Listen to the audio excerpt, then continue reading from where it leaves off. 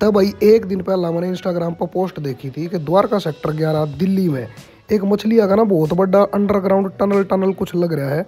तो मेरे भाई बालका की थी, है ना, जब का खाज हो रही है भीतर में कि देख कहूँगा तो भाई बस में बैठ लिया हूँ मैं सोनीपत और मन मिल गई कुणे वाली सीट और इतना मैं नज़ारे देखने लग रहा था ना, इतने में एक छोर आकर बोला, भाई टिकट के पीछे देख नंबर मेरा यार, तू हट तो उठ कर पर लिखा नो ले तो भाई साहब, मैं पर लेकर बिठा दिया और भाई साहब, ये बताऊँ, आधा घंटा तो बस में बैठे बैठे लग गया। और उसके बाद भाई साहब बाड़का ने ना रो आराट चालू करी और गर्मी इतनी हो रही थी। अरे लो भाई बाड़का के रुक के सुनो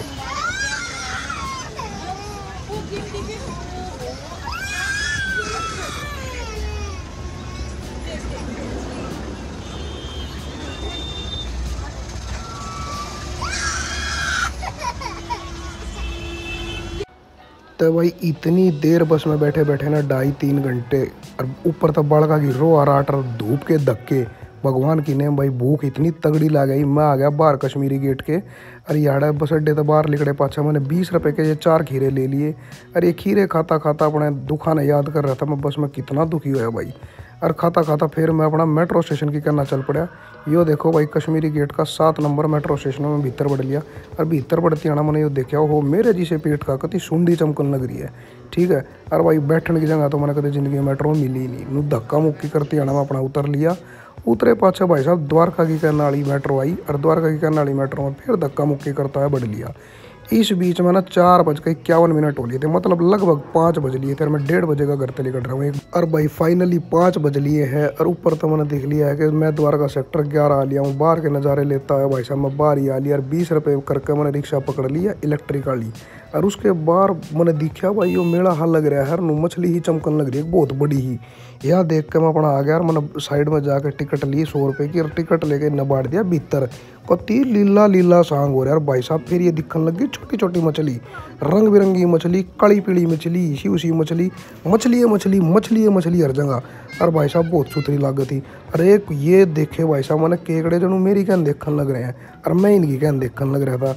फिर मैंने देखी, भाई साहब, एक ऐसा केकड़ा जो कि सुसरा मेरे दोस्त की तरीका है मतलब खाना का सामान आए पाछर खाए पाछर नुई लिकट लिया करो अपने घर।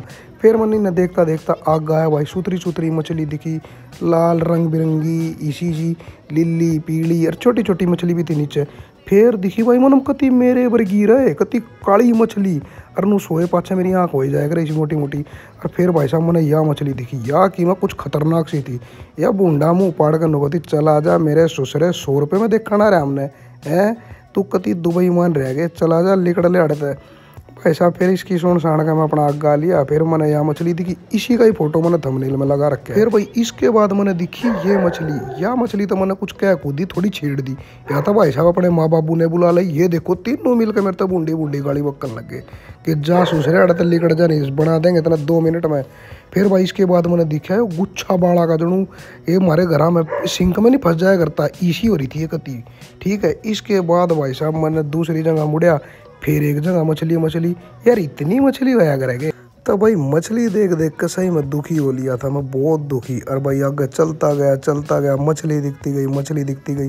फिर एक आदमी बोलिया कि, भाई, इबे की जान लग रही हो? इबे तो आगे देखो, आग आग के है। जो असली चीज़ है, वह यही तो है। भाई साहब, फिर इसके भीतर बड़े मैंने सोचा था, कुछ बहुत ही एक्स्ट्रा होगा कि तीनों धुआँ ठाना पर भाई सही बताऊँ सेम वे ही मछली। नूगिन उठाकर आड़ा गाल रखी। मेरा दिमाग चल गया भाई, सही बताने लग रहा हूँ। और फिर मेरा ध्यान खींचा भाई, सिर्फ़ एक मछली ने, जो कि थी या। अरिश ने देख कर भाई सही बताऊँ, मैं सोचने पर मजबूर हो गया क्या करके रही है। फिर मैंने सोचा, छोड़ यार बड़का की चीज़ नहीं है, आगे बढ़। आगे बढ़िया तो भाई साहब एग्जिट आ गया था। और इस तब बाहर निकल लिए भाई, लीली लीली लाइट बंद हुई पाचा बहुत शांति मिली। यो इसके बाहर लग रहा था मेला।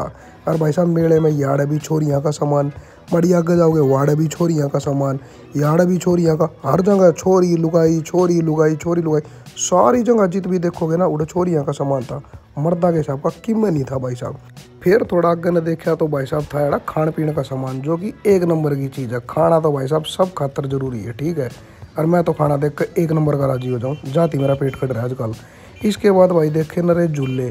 दबा के झूले बड़का के हिसाब किताब के एक एक नंबर के झूले। और भाई साहब, उसके बाद मैंने देखा, यो यो के नाम है? पेरिस का यो आईफिल टावर टाइप जो इंस्टाग्राम पर दबा कर दुनिया रील बनाया करती। फिर यहाँ ट्वेल्व डी एंटरटेनमेंट शो कुछ इस तरीके का था।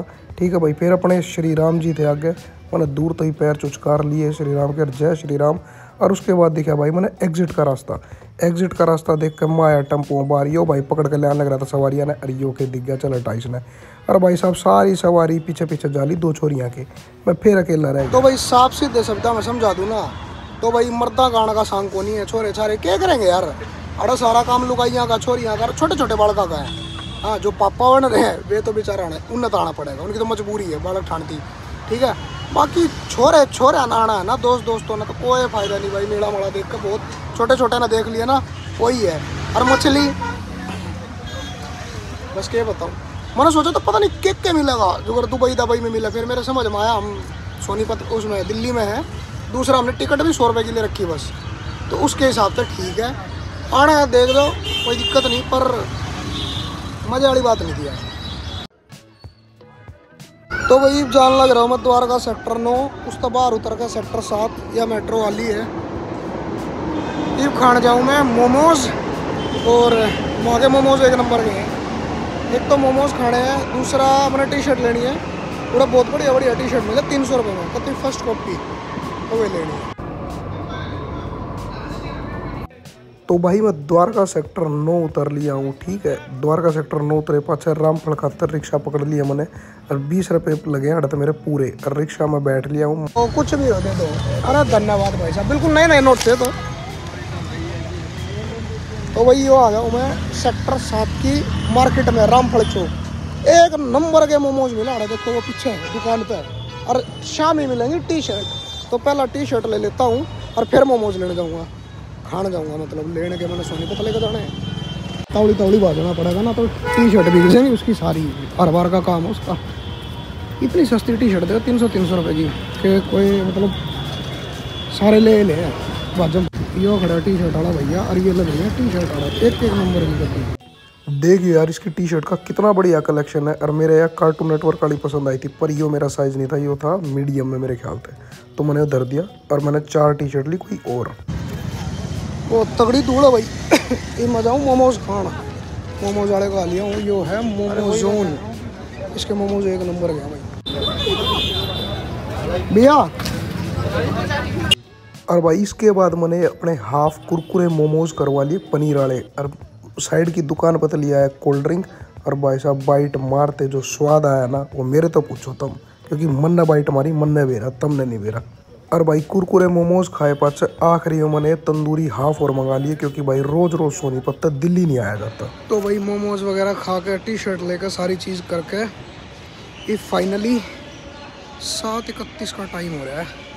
और सोनीपत जाना नामुमकिन है, बस में जाऊँगा नहीं, मैं नहीं चाहता रात के तेरह बजे पहुँचूँ पंद्रह बजे पहुँचूँ तो मेरी ताई का घर है यार है सेक्टर इक्कीस में, द्वारका सेक्टर इक्कीस में। तो अपना ताई का जाकर रुकता हूँ, क्योंकि यहाँ तक अगर मैं जम्मू मेल भी पकड़ने की कोशिश करूँगा ना ट्रेन वो आठ बजे चला है। आधे घंटे में किसी भी कीमत पर नहीं पहुँच पाऊँगा। तो भाई, आज का यही था ब्लॉग व्लॉग सारा सब कुछ। ठीक था बढ़िया मतलब ठीक था यार। कुल मिला के बड़का खातर तो बहुत बढ़िया चीज़ थी। बड़का ने कुछ कुछ नया एक्सप्लोर करना चाहिए। और अच्छे तरीके से माँ बाप के साथ टाइम स्पेंड करना चाहिए। तो बच्चों के लिए ठीक था। तो ब्लॉग यही समाप्त करते हैं। ओके भाई जय श्री राम मेट्रो आ गई मेरी बाय बाय